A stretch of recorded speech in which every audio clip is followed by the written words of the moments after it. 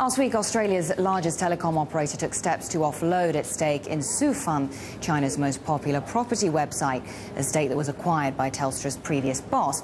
Now, there's been talk that the company is giving up on China and refocusing efforts only on the domestic market. But when I sat down with CEO David Thodey, he told me that's not the case.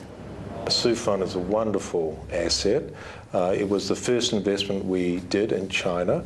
And like many times, the first time you do a investment in a country, we didn't get everything right. Uh, and we've come to a point where it's in the best interest of our shareholders to go to the next stage. We always said, even when we did the acquisition initially, that we would consider an IPO, and it's come to that point. That doesn't mean, as people have speculated, that we're not committed to China. It just means that it's the next stage in our in our uh, in our plan. So this doesn't mean the company's giving up on China. No, not at all, not at all. However, we'll be considered about what we do, uh, and we'll take every investment uh, on its merits and move ahead. We uh, invested in a small company last year. Uh, which was in the mobile space, value-added services space, uh, and we'll continue to do so, but only as we see opportunities come you know, before us. We believe that China is a wonderful market. You need to be patient.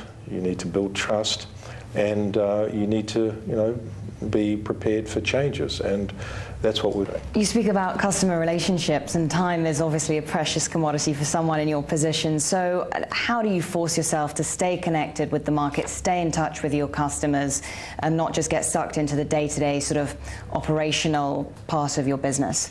Well, it's a balance. Uh, on the one hand, I, my job is to set the strategy of the company, being involved in the bigger issues uh, as we go forward. But I must remain very focused on hearing what our customers are saying.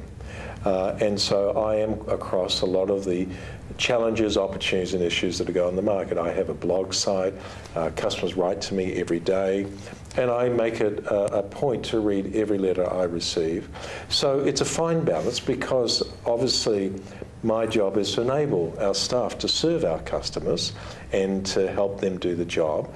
That's not my job. However, if I don't know the reality of what they're going through, experiencing, then I'm not doing my job. So I do both, and I have a team that helps me do that. But it's very important to us. What do you think will be the next big thing in mobile and internet technology? What is your vision? How will we be communicating with each other in, say, 10 years from now? Well, I, I personally think the future is very bright. Uh, if you look even today, the incredible amount of information that we share between each other on social media sites, uh, the, the advent of you know, the new iPhone and these new Android mobile phones, new applications, I see that growing exponentially. But it is about this always on experience uh, and being able to, anywhere in the world, anytime, be able to be connected to the information you need. And we're spending a lot of time in enabling that experience, simplifying it, uh, finding out what's really important to people. So we see things like the digital home as critically important to our future, or in small businesses about how businesses can truly you know, have an integrated communications capability across broadband, their mobile phone, and not having to have different contact books for you know, their mobile phone and you know, on their email systems. They are the sorts of things we're focused on. Now, you're a fan of basketball, so does that mixture of attack, defense, and teamwork apply to the boardroom as well?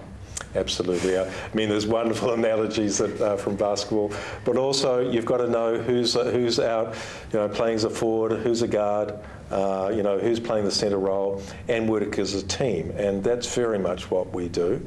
Uh, always, uh, like a basketball team, you've got to work at it.